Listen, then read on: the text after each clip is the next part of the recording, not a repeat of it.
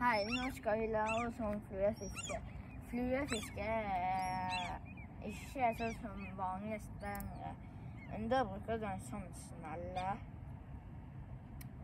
De eh, kan jo vise De må jo sveive bakover. Og nå kan jeg vise hvordan vi kaster.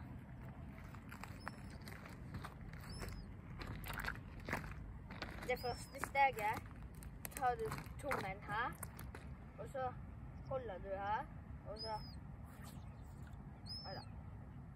Unnskyld. Og så kaster du.